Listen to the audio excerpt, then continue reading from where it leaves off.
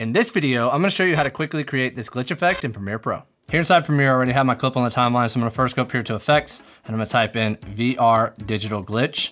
And I'm gonna click and drag that onto my clip. Then I'm gonna go back over here, and I'm gonna type in Directional Blur. Click and drag that onto the clip. Then I'm gonna go to the point in my timeline where I want this effect to begin. Right about here is fine for me. And I'm gonna go up here to Effect Controls and scroll down to VR Digital Glitch.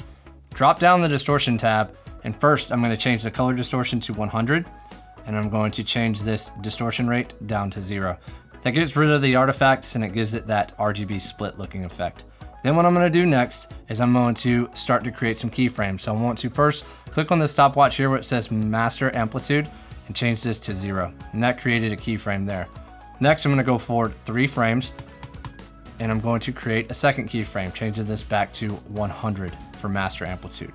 I'll then go forward three more frames and I'm gonna change this back to zero. And then I'll go ahead and play back what we just created. And that looks pretty subtle. It's already looking pretty good to me. So what I'm gonna do next, I'm gonna go ahead and I'm gonna make this a little bit bigger so that I can see these keyframes a little easier. And I'm gonna press this go to previous keyframe button to take me back to my very first keyframe. And I'm gonna scroll down here to directional blur. Then what I'm gonna do is click the stopwatch for blur length and I'm gonna leave that at zero and I'm gonna go forward three frames. Then I'm gonna change this to something subtle, like we'll go with five, and that's gonna create a second keyframe. Go forward three more frames, and I'm gonna change that back to zero. And what that's gonna do is add a little bit of motion blur to my glitch effect. And that looks pretty good to me. Next, I'll go ahead and go back to that first keyframe. I'm gonna scroll up here, and I first want to change the scale to 115.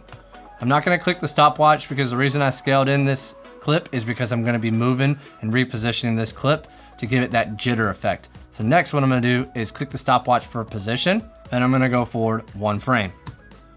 That next keyframe is going to be created whenever I reposition this clip. So I'm just going to position it wherever I like. Right there looks good to me.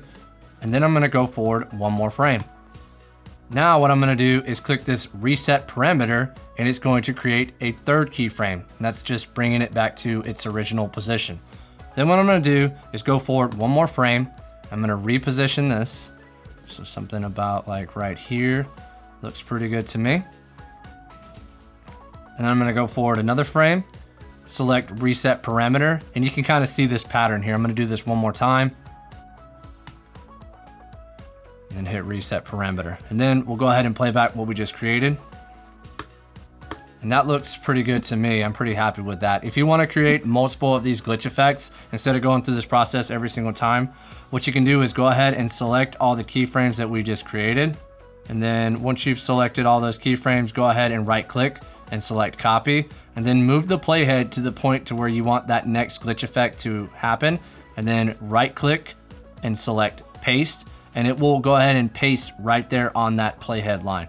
And if you want, you can go in here and reposition if you want. So I'm gonna go ahead and just do that real quick.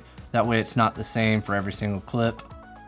And then I'll go ahead and I'm just going to play everything back that we made so far. And I think that looks pretty good. Continue to perfect your skills by checking out this video. Edit like a pro by subscribing and hitting the bell so you don't miss anything. I'll see you in the next video.